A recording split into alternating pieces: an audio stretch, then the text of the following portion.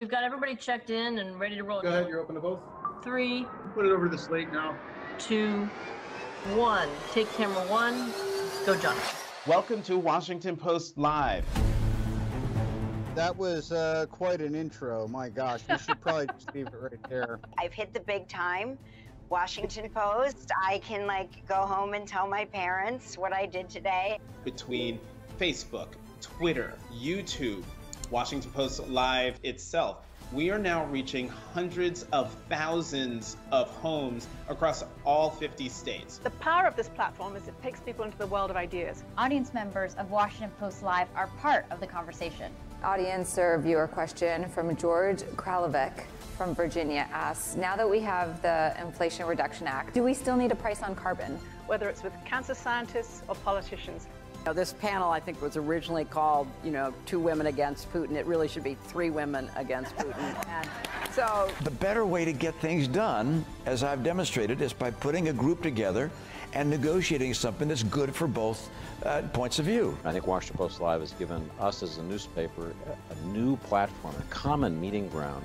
When they're sitting in their own space, there is a sense of, of ownership and comfort.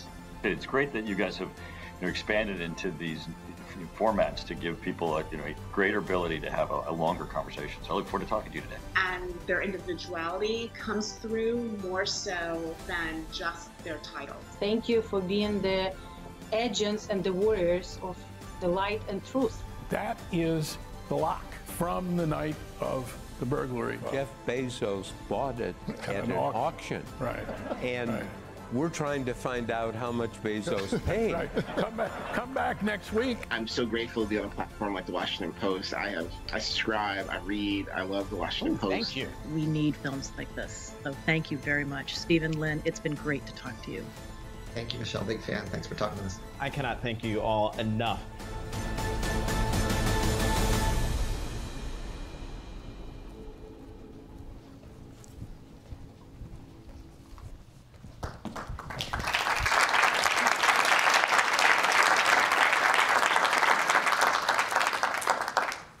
Good afternoon, everyone. I am Patty Stonesifer, the interim CEO here at the Washington Post. I'm happy to welcome you here and online for a very special conversation with our former executive editor, Marty Baron. Some of you in this room worked at the Post when Marty was at the helm, and all of us, no doubt, read the Post during this historic period of leadership when the Post broke countless stories and took power to account and earned 10 Pulitzer Prizes along the way. In 2013, just a few months into Marty's tenure here, the company was purchased by Jeff Bezos, a dramatic change after nearly eight decades under the leadership of the beloved Graham family. And then just a few years later, Donald J. Trump became the president. And he labeled the press an enemy of the people and called journalists the lowest form of life. Marty's response to the rhetoric was straightforward, and you'll read a lot about that here. We are not at war with the administration, we're at work. In his new book, Collision of Power, Marty details what it was like for him to lead a global newsroom during these pivotal chapters in our shared history. We're excited to welcome Marty back to talk about how he sees the role of a free press in defending the truth and holding power to account in our democracy. We're also delighted to welcome back the noted author and editor Tina Brown, who will be interviewing Marty right after this video.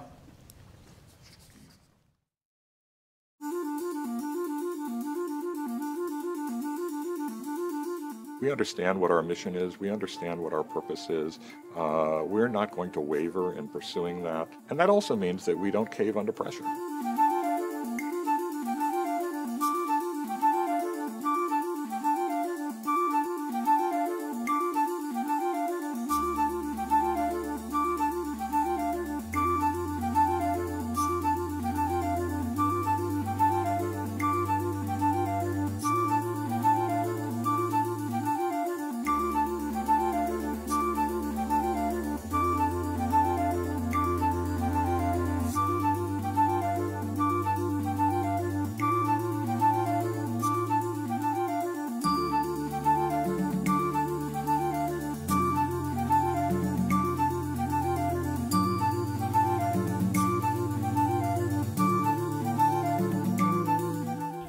Take the Washington Post from being a great local paper, which was a very successful strategy for decades, and transform it into a great national and global paper.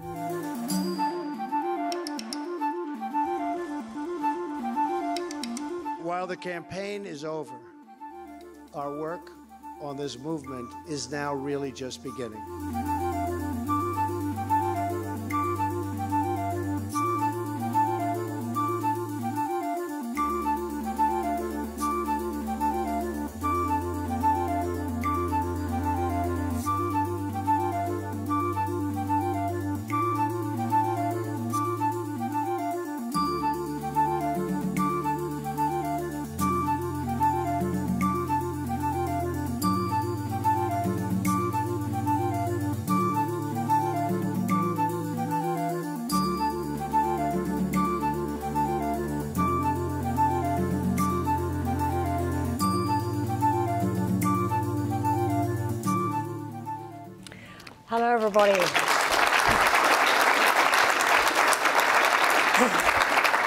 I'm delighted to be here today talking with really a legend in journalism, one who's been called the tribal chieftain of American journalism. That's obeisance, okay?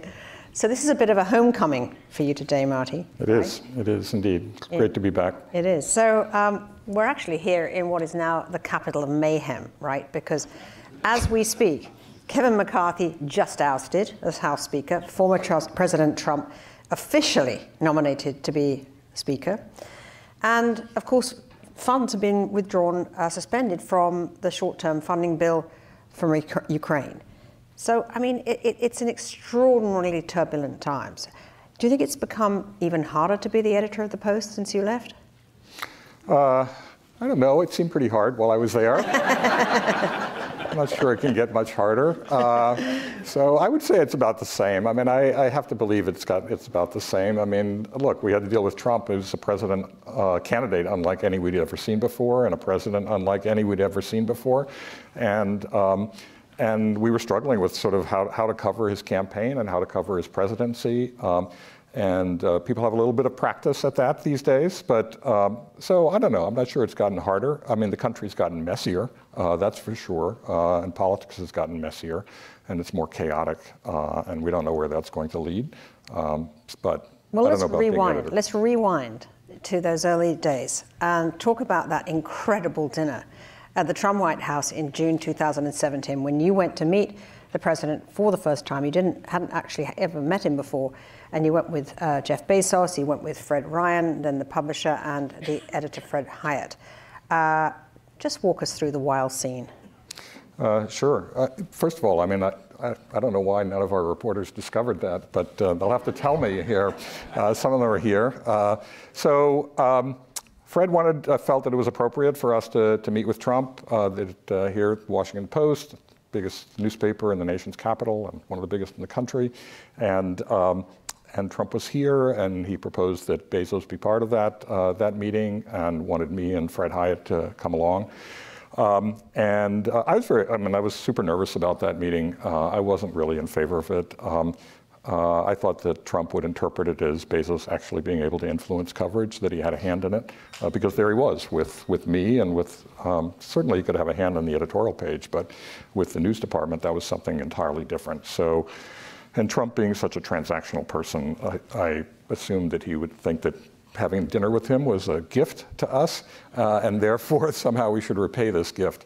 Um, and uh, but anyway, he was, you know, he was charming in a superficial way when we went there. Um, it was, I mean, it didn't strike me at all as authentic, and it certainly wasn't authentic. Um, but uh, you know, he started going on. He did almost all the talking. Surprise. Uh, so uh, he did almost all the talking. I sat there impassively. Jared Kushner sat there impassively, um, and um, but he was mostly talking at, at Jeff, uh, really. Uh, but he would take digs at the at the post all the time, and I was sitting to his left, and he would always like you know elbow me like this kept jabbing you. And I was so tempted uh, to like go like this, but uh, you know, it is the president of the United States, you know, uh, uh so I, I held back. So, um, and um, and you know, he talked about the same things that he always talks about, about how he had beaten the Clinton machine, how he'd beaten the Bushes, how he'd beaten all these supposedly great candidates of the Republican Party, um, and um, you know, uh, all, all, the stuff that he had accomplished. Uh, mostly imagined at that point. Uh, and, um, and then, you know, he would um, talk about people he thought was great, and then he'd talk about people he thought were terrible. Um, and, um, and it sort of went on like that with him just rambling on. And um, uh, so, and at the end, you know, it was, uh, he was basically talking to, to Bezos, and, well, Melania was there as well. And um, and then he talked about how much Melania liked shopping with Amazon, uh, which was kind of, it was kind of bizarre after he'd gone through the entire campaign talking about how terrible Amazon was. And then, you know, it was a bit of a commercial for Amazon. And then Jeff offered himself as his, you know, to be his her personal customer service rep.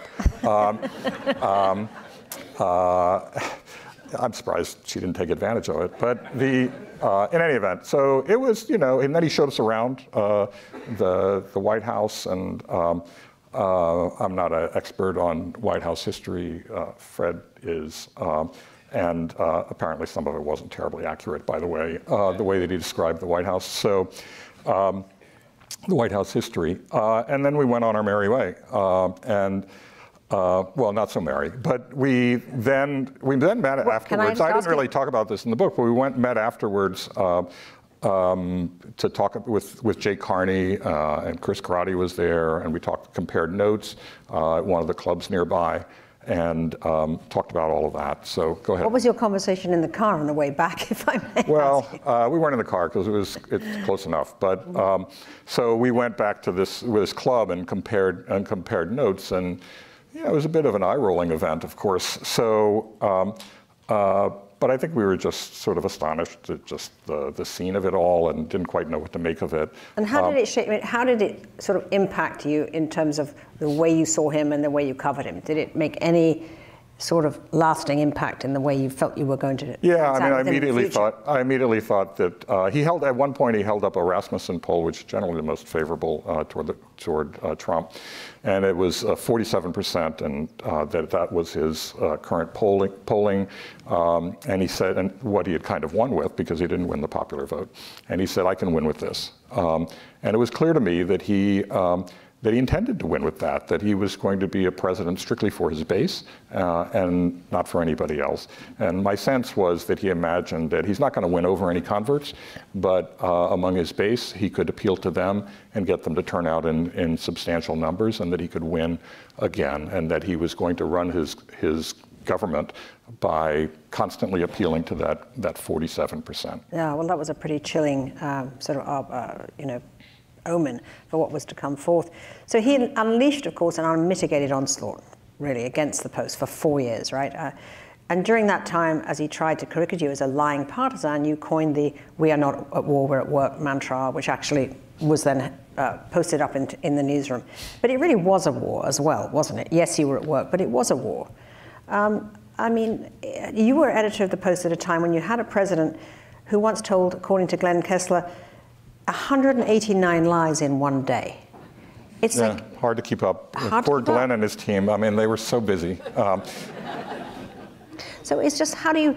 I can imagine how hard that must have been as the editor to kind of oversee how you chase those 189 lies and keep making an impact with the reader. Yeah, I mean, I think so, and it was tough on the staff for sure. Um, I mean, it's like, how do you deal with this? Uh, first of all, I mean, there was the question of how do we describe what he's saying? I mean, uh, we were not accustomed to saying the president lied. That wasn't something that the, the Post had done traditionally, or most major news organizations hadn't done that. And the truth is that we didn't really know whether he even knew that what he was saying wasn't true. I mean, that doesn't speak so well of him, by the way, to think to actually be deluded about what the truth is. Um, but uh, but also, you know, uh, he could have been just somebody who, and I won't use the word, but he was just sort of BSing uh, and just didn't care whether it was true or not, just making it up on, making it up on the spot. But at some point, it was clear that he knew that what he was saying wasn't, uh, wasn't true. Uh, and we started to use the word lie, and it became more apparent over time that he clearly knew that what he was saying was false, and we used it more, more frequently. Uh, but, you know, um, there's so many things to cover with him. I mean, these policies that he was implementing, the way that he was behaving within the White House, uh, um, and just sort of crazy behavior and the internecine warfare within the White House as well. And so um, uh, we couldn't just focus on his lies because that would be a full-time full-time occupation. So, um, and, but you know, it was a big part of covering him. Well, I mean, Trump told 60 Minutes, I discredit the media and demean you all, so that when you write negative stories about me, no one will believe them. It sounds almost demonic, really, when you read that now. Uh, how much tr- damage do you think that Trump did do to the press? And do you think that the press has got any better at contending with it since? Yeah, I would take out the almost word, by the way. Uh, uh, I mean, I, it, it, was clearly cynic, totally cynical. Um, I mean, I, I think we struggled with him at the beginning. I mean, first of all, I think our, one of our biggest mistakes was actually before Trump actually announced uh, that he was running for president. We just didn't adequately take the measure of the, the level of grievance in the country. And there were a lot of people, and there are a lot of people struggling in this country. And and they had uh, real grievances against um, the so-called elites, uh, particularly in Washington, and particularly against the press. And and it led to um, a candidate like Trump. And I, we didn't anticipate we didn't anticipate that. Well, that was uh, a big miss, wasn't it? Really, of the paper well, that you didn't. Miss, you really missed that depth, depth of feeling and that Trump was such a surprise. I mean, why do you think right. that was that actually well, I think, well, actually, why? Because we weren't out in the country taking the measure of what, what people's sentiments were. Uh, but once he actually declared as a candidate, I think we did a very good job here uh, at exploring his. Um, uh, his life and his career, going in depth. I mean, we assigned, we did a whole book on it, Trump Revealed, because we had done a series, um, and we went really deep on him. Uh, we enlisted another 20 reporters um, to, to work on that book. Uh, and when Bob Woodward disclosed that publicly at a it was a conference of real estate developers or something like that. Uh, it's a weird place to come from, but but uh, Trump seized on that. The right-wing media seized on that. He attacked Bezos for that. That we were just like going after him, um, and uh, but you know that his supporters, none of that really mattered to them. I mean, they when he would talk about. I mean, even with his announcement, if he's talking about uh, rapists coming from Mexico, they think of somebody who's uh, going to do something about the border, whether whether it whether it sounds racist or is racist or all of that. That's how we react. That's not how they react. When he talks about keeping Muslims out of the country, um, you know, we look at the constitutional issues involved there, but. Uh, other people are saying, oh, well, he's going to do something about terrorism. And they're seeing it through a different prism than, uh, than journalists are. Um, and, other, and the way that other people in Washington are. And I think it's really important that we we understand why people are seeing it through that prism. And so I do think people are still struggling with how to how to cover him. I mean, I think there have been some recent really big mistakes. The interview uh, on CNN, terrible mistake. Uh, I think the more recent one with Meet the Press, I think that's a mistake. I mean, it's just uh, doing an interview with him like that is just giving him a platform. He controls the conversation. And you know, more and more, what we ought to be doing is saying, well, what would a tr- second Trump administration actually look like? Who would he appoint, uh, you know, to be members of his cabinet? Uh, what kinds of uh, policies would he implement at the beginning? Clearly, it would be a vengeance tour. I mean, he would be targeting the Department of Justice, the, the FBI, the press, courts, you name it. Um, the Post has done some of that work. I would like to see see more of that, and I hope that there's more of that in the works. Mm-hmm. Uh, what is this a second Trump administration, if there is one, uh, really going to mean for this country and for our democracy. It's a good assignment, guys. I certainly like to read it. So, um, of course, when you first arrived at the Post in 2013, Obama was or, was still president, right? Yeah. He didn't much like the press either. No. Uh, how was covering Obama compared to covering Trump? Well, I was only here for a short period of mm-hmm. that time, but uh, they weren't very welcoming to us. I mean, look, we even wanted to. I think we tried for two years to get a like a farewell interview with him, uh, just to you know, uh, he had been in office for, you know, two terms, and we were trying to get a substantial interview with him, and we were never granted that interview. They wanted nothing to do with us, mainly because they knew that we weren't going to ask so- just softball questions. All of those interviews in that last stretch of the Obama administration were with outlets that were clearly going to, there were essentially allies of his, and uh, we're going to ask him the, the softest of softball questions, and that's exactly what happened. Mm-hmm. Well, of course, when you arrived, also the Post was forecast to lose $40 million, uh, its seventh straight year of revenue decline. the number of cakings in the newsroom, I'm told, I learnt that phrase today, was at an all time high. Were you just, did you think that your role was going to be to manage decline? I mean, or did you have a, a real vision for how to reverse the decline when you came in? Uh, no, I can't claim that I had a vision for it because I wasn't sure what the model should be. I mean, I was interviewed, of course, by senior executives here at the Post, um, and uh, I remember having uh, breakfast or lunch with Steve Hills, and uh, he asked me a bunch of questions, and then we were leaving, and I said, "Well, can I ask you a question?" And he said, "Sure." And I said, "So, what's your strategy for getting through this?" He goes, "We're still trying to figure that out." it was not. It was not, uh, it was not really optimistic. So I worried that I was going to have to continue to manage the decline. Uh, in my first year, Katharine Weymouth told me that she was going to go easy on me. Uh, I would only have to reduce staff by 35 people, um, and we had a staff of about 580 when I got there. Uh, and then, uh, as we, the summer came, we were starting to anticipate, you know, planning for the next year's budget, and it looked like I would probably have to cut another 50 or more uh, people. Uh, and then, uh, so no, there was no plan for, I mean, a, no good plan, that's for sure, for getting out of it. And, um, and that was made clear to, to Bezos after he actually acquired it. When we met at his house in Medina, in Washington, um, and in his boathouse, um, which is bigger than most of our boathouses, but um, um, it's, um, I don't even have a body of water. But uh, so, in any event, it was, uh, you know, they presented him with a whole memo to make clear to him that they, they, were actually wondering whether he really knew how bad things were. It's kind of amazing. Uh, so they presented him with a whole memo that explained just how bad things, how awful things were. And it had a couple of notes of optimism in there just to make it look like we weren't total pessimists.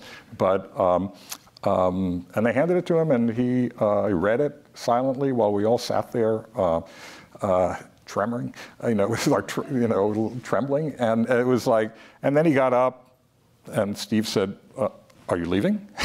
it's like, and then he went to get some water and he came back and he said, I don't, I don't get discouraged that easily. And, um, and he said, so you're right, we have to grow. So let's figure out how to do that. Uh, but we did not have a plan uh, at the Post prior to that for how to grow. We were, in, we were in the mode of managing decline. But obviously, your your main focus was just the editorial quality of the paper, and I mean, you say, of course, rightly. I mean, the obvious that uh, the best way to lift a newspaper's fortunes is to get some really, really big stories. At the Miami Herald, you had the incredible, uh, you know, uh, Elian Gonzalez story. At the Globe, uh, you famously broke and owned that the whole story of the Catholic Church's cover-up of uh, of sexual abuse, wonderfully celebrated in the movie Spotlight. So, what do you think, really? What would you consider the big fortune lifting beginning of the big scoop run at the Washington Post?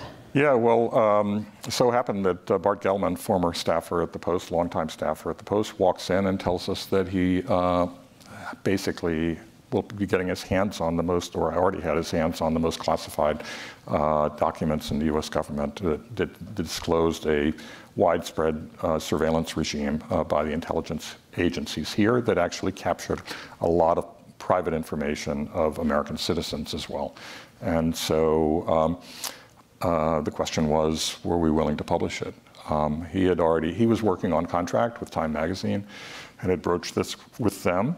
Uh, and the response that he got was not encouraging uh, to him uh, in his conversations with the editors and the lawyers there. And so he brought it here. Um, he had talked to Jeff Leen, who was our, is the investigations editor here, and um, asked whether he thought I would be receptive to this. And, um, and so they came in and we talked about it and we decided to proceed. I mean, I wasn't, I'd never really dealt with stories like that. I mean, I hadn't dealt with stories like that at all, for that matter. I mean, I had been an editor of major regional publications, but not, I wasn't dealing with in matters of national security. And um, you know, you had to think hard about it. I mean, we I decided to to go with it, and I said that after our first meeting, when where we discussed all the issues, or at least a substantial number of the issues. But then when I went home, I was like, "Gee, what did I just do here?" Uh, so you know, I, I was thinking about it more, and I was I actually made a copy of the Espionage Act of 1917. Um, it's not the liveliest reading, but it was really important at the time. And I did highlight the things where there could be huge penalties against the Post, there could be imprisonment, all of that. Um, but I thought about it, and it was just um, this was a level of um, an invasion of Americans' privacy in a way that none of us could have imagined. And, um, and there had been, of course, no public debate about it. And the question is, how far does that go over time? And I felt that the public did need to know about it. And um, that if it even became a broader and deeper surveillance regime, I mean, and we didn't disclose it, we would be responsible, I would be responsible for, for not having disclosed that to the American people. So we did go ahead with that story, and of course it was huge. Uh, the Guardian uh, in England had had that as well, and we were very competitive with them. Um, and um, you know, we had a procedure for how to how to report on those stories and the conversations that we should have with um, with the intelligence agencies. But uh, we went ahead, and all of a sudden, the Post was at the center of the conversation and uh, in the the world, for, for that matter. It was. Yeah, and uh, I bet that felt very good. uh, it did, but you know, I mean, this it, it did for sure. But from a, uh, but also you knew you were dealing with just the most sensitive stuff. And I was in Boston at the time of the 9/11 attacks. Two of those planes, uh, the two that hit the World Trade Center towers, uh, came from Boston. Uh, the father of one of our staffers, David Philippoff, was killed in one of those planes. I went to the memorial service.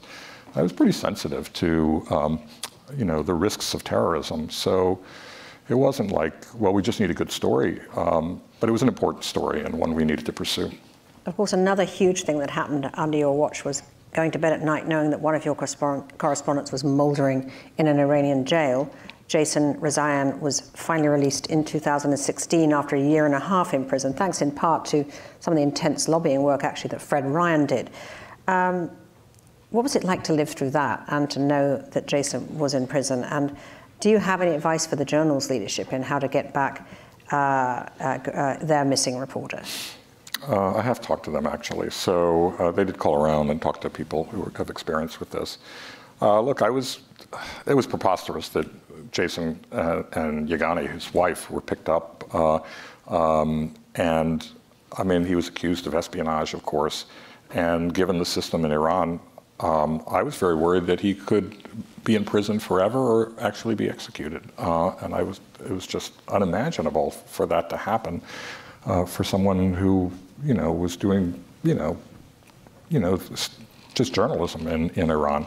And, um, and so, you know, that was my biggest fear is that that would happen. As far as um, Evan at the Wall Street Journal, uh, it's a similar, similar situation. And what I told them is that they should just be prepared for the long haul. Um, they need to keep the pressure on. They need to keep uh, pushing as much as they can. Uh, I think they're doing that. They're doing really well with that.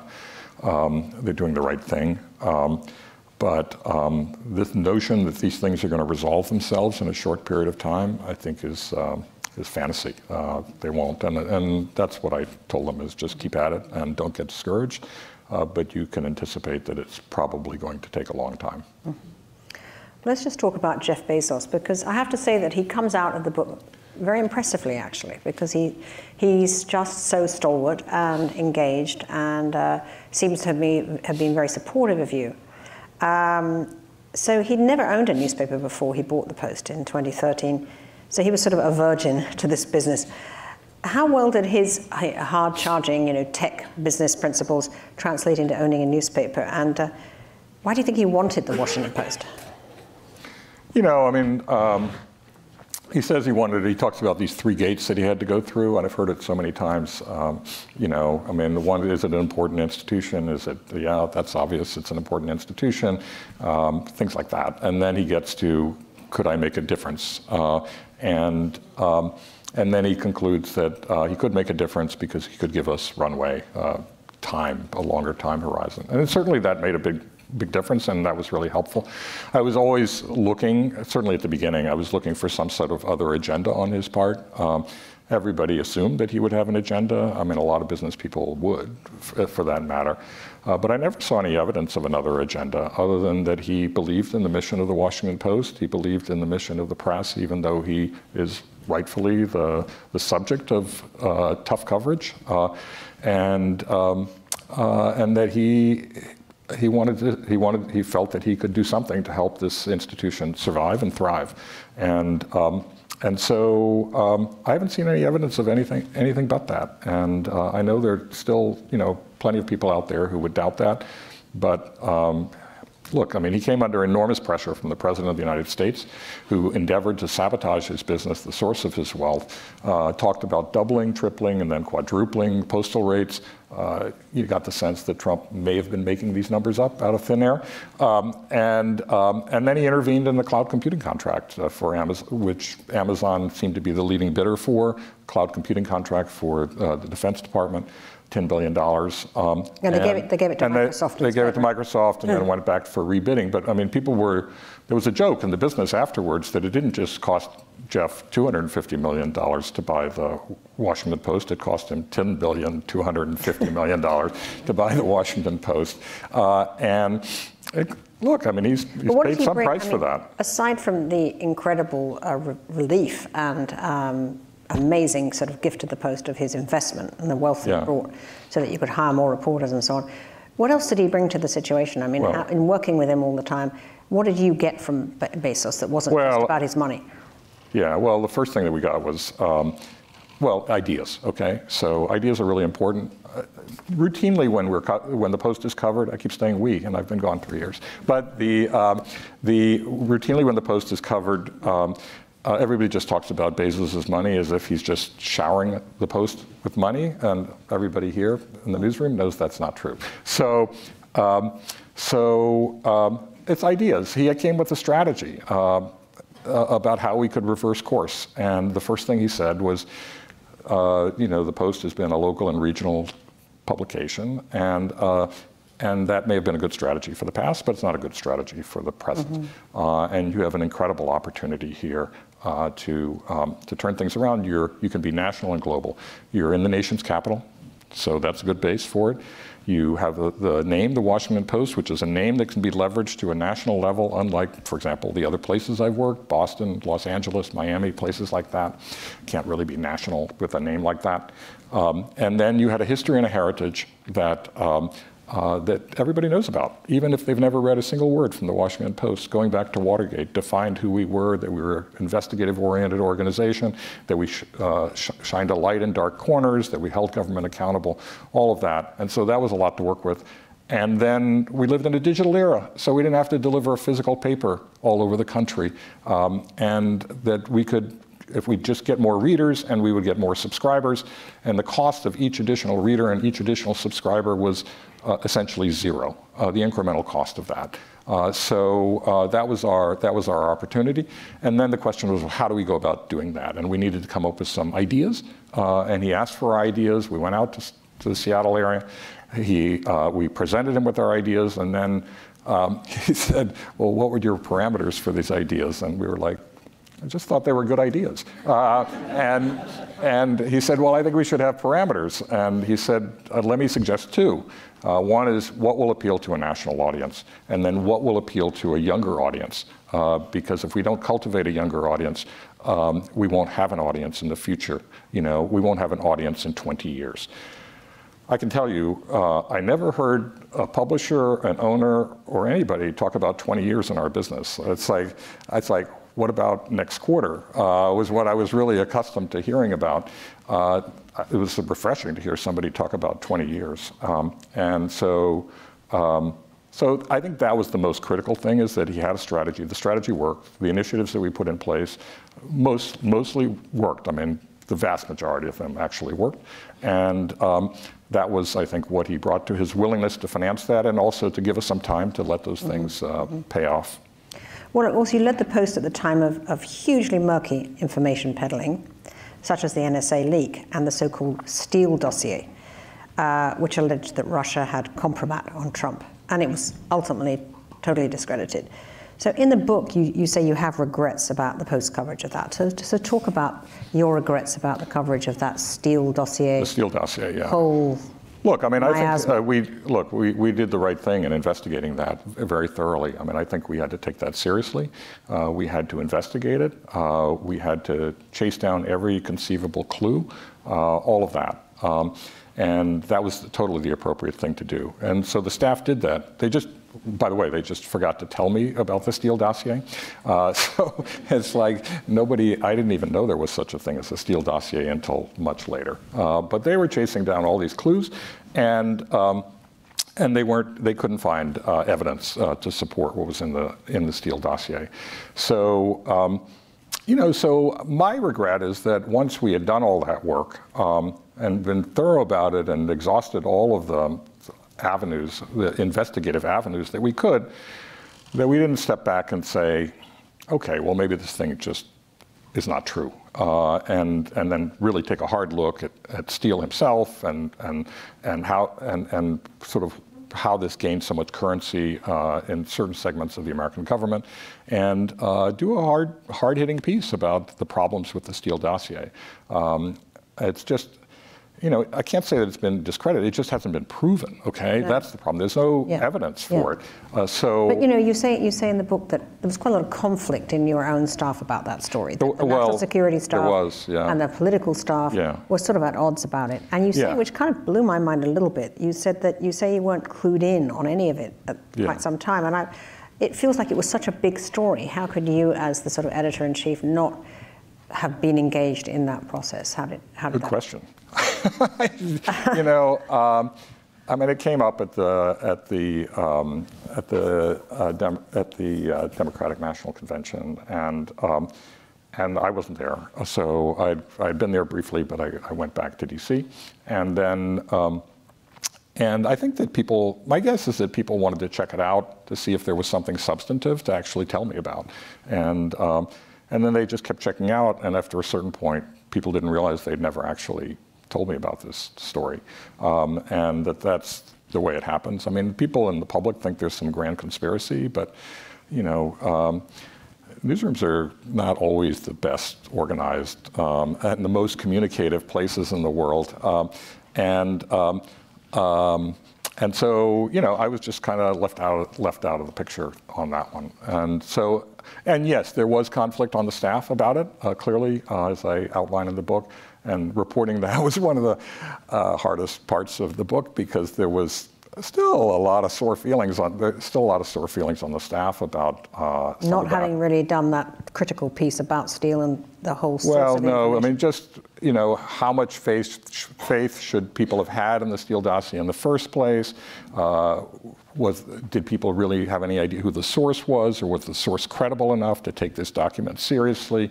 Uh, that sort of thing. Uh, the staff in, in Moscow was super skeptical of the whole thing, uh, and uh, and so there was a lot of tension on the staff um, about the whole thing, and and so um, uh, and that was I had to report that out actually because while I was aware of the tension, uh, after when I finally heard about the Steele dossier, um, that I didn't know the dimensions of it. I didn't know the details of that tension, and I needed to report that out. And and that was one of the harder bits of reporting for the mm-hmm. book because there was still some of that tension on the staff, and people were very sensitive to how they might be portrayed in mm-hmm. the book.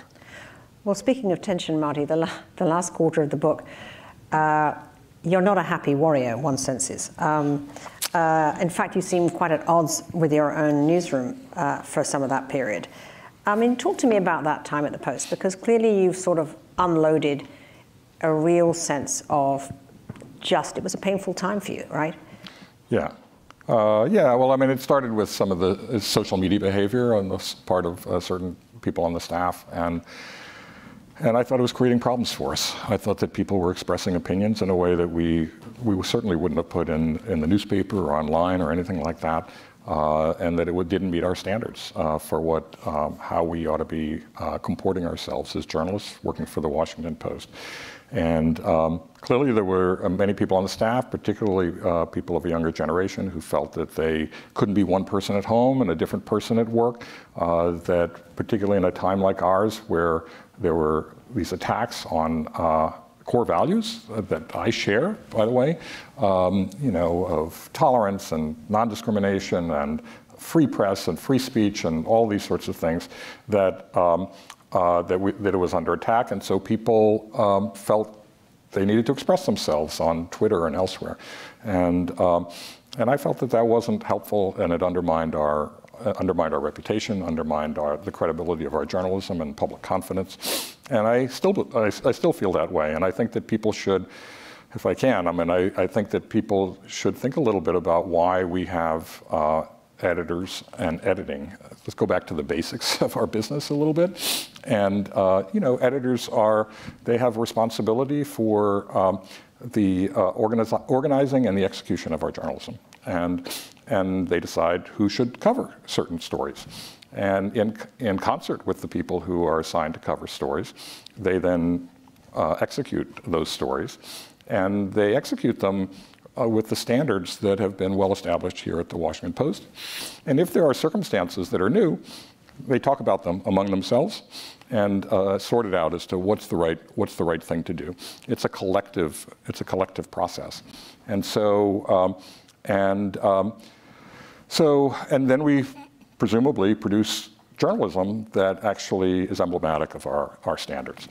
Well, what happens if somebody who's not involved in that, somebody who hasn't been assigned to that story, particularly the most sensitive stories that we are working on, uh, then decides to just take it upon himself or herself to uh, uh, express their views on a particular story or to uh, decide that, well, you know, they're not covering the story right. I'm going to I'm going to set it right by you know, tweeting out this particular piece of information in this particular way, uh, that kind of thing. And uh, well, you know, the tweet never went through any, it doesn't go through any uh, formal review. Nobody, nobody, was, nobody was consulted on whether such a tweet should be sent out, whether we think the timing is right.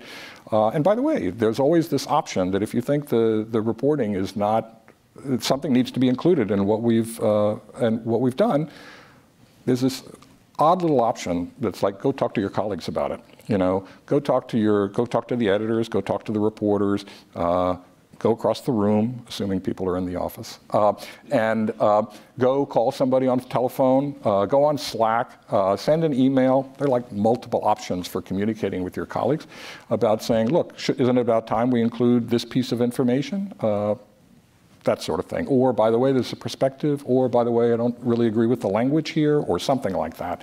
Rather than going on to Twitter and, and communicating to with your, presumably to your colleagues, what you think the story should be.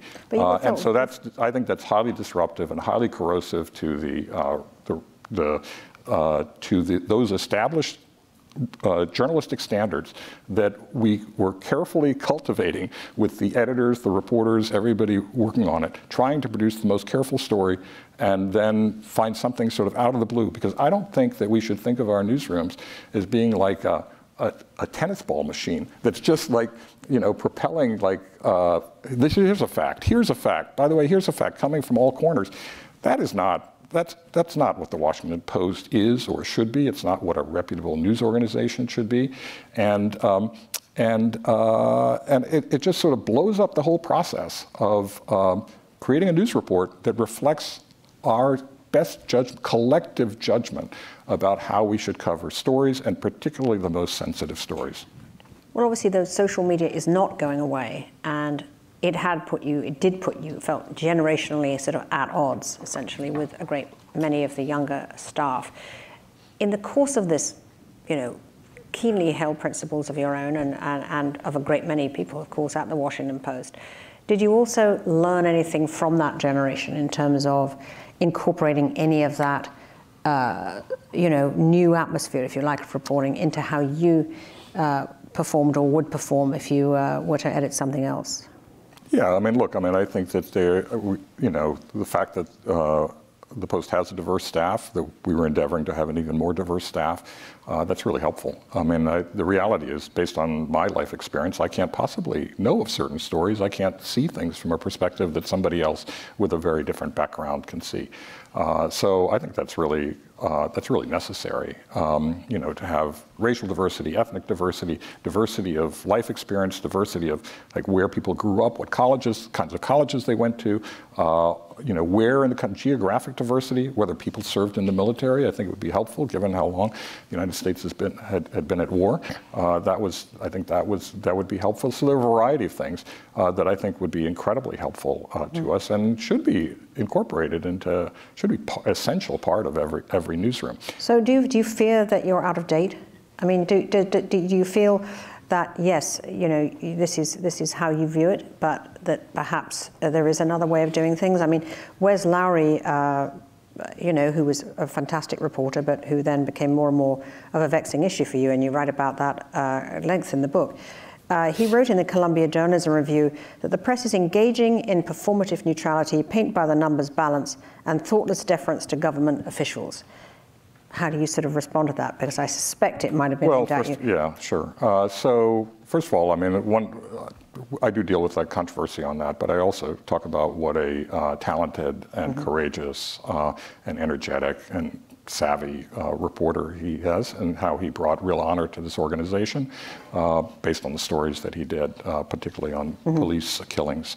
So. Um, um, and I and I believe all that. Uh, I just disagreed with him on social media behavior. But I don't think I, I believe it. I don't believe in performative neutrality. I mean, look, let me give you let- just give you a, a case study here, which predates my time at the Post. So the Catholic Church investigation that you mentioned that I launched when I was at the Boston Globe. Um, there, the problem was balance. Okay, what did what did the what did the Globe ha- Globe have before I before I launched that investigation? They had a column, that- or uh, they, basically they had the uh, lawyer for the plaintiffs, the the the people who had been abused as kids, uh, said that the cardinal himself was aware of the abuse and um, and then and reassigned a priest who had abused as many as 80 kids uh, so that he could abuse again and again without any notification to parishioners or the public or any anything like that, and that the cardinal himself knew about this uh, and and participated in that reassignment. And the archdiocese said that's absolutely not true, and that's where things were left. Well, that's balance, right? One said some, one thing and the other side said something else. And at my first meeting at the Boston Globe, I said, when nobody mentioned that story at the first meeting, I said, look, I want to, what about this story? Um, um, can't we get beyond one side saying one thing and the other side saying something else? Can't we get to the truth of the matter? Uh, bec- uh, because if it's true, it's an incredible scandal. And um, so, what was that? Okay, that was I had a problem with the balance. Okay, the the issue was how do we find how do we get to the truth? But in in pursuing the truth, I want us to be open-minded. I want us to be fair. I want us to look at all of the evidence. I want us to be rigorous and comprehensive and thorough. To go in without preconceptions of, of who's telling the truth in that instance, and to look and to talk to everybody and look at every document we possibly can, and to do. I know people. I like to use the word objective. Other people don't. So, but the idea is open-minded, thorough, rigorous research to determine the truth uh, without letting your own preconceptions get in the way. And that's what I, that's what I believe in, and that is not performative neutrality. And nobody, I believe, can point to anything I did here at the Washington Post that constituted performative neutrality. So would you sign up to the uh, Christiane Amanpour maxim of truthful, not neutral? Uh, yeah, I mean, yeah, exactly. Yes, that would be fine. Yeah. Okay. I hadn't heard it before. First one, and I. Okay, well, it's a good right, one, I think. And So- s yeah, okay. Anyway. Okay, so as we're sort of sitting here, um, it, you know, we've talked about the Post, but frankly, the news business across the board is, is really in a lot of peril. Credible news organizations are being gutted, you know, turned into skeleton ships. There are news deserts now all over the country with local journalism failing. The business model's been blown up. So, I mean, who do you blame for all of this? I mean, we, we tend to only blame digital disruption, but there's also uh, corporate consolidation, private equity firms, and, you know, the, the news business also. Are we also to blame uh, for being slow to innovate, do you think? And for agreeing to give away content free for all of those decades and then suddenly turning around and realizing they've eaten our lunch, essentially? I mean, do you feel now uh, that we can ever rectify this, this great sort of giveaway of content? Uh, yeah, there's a lot in there. Uh, so, in that question, um, look, I mean, I, I was at a din- dinner last night and I said every mistake that could have been made, we made. Um, so, um, um, we had a 100% record on making mistakes. Um, you know, uh, I think that we, we didn't take advantage of, I mean, there was a time where newspapers were considered to be uh, monopolies and duopolies. I mean, you know, news organizations today are writing about, you know, whether Amazon is a monopoly or whatever it is. Well, we were monopolies. uh, that's the, and they, there were 40% to 50% profit margins in this business when these were publicly held companies.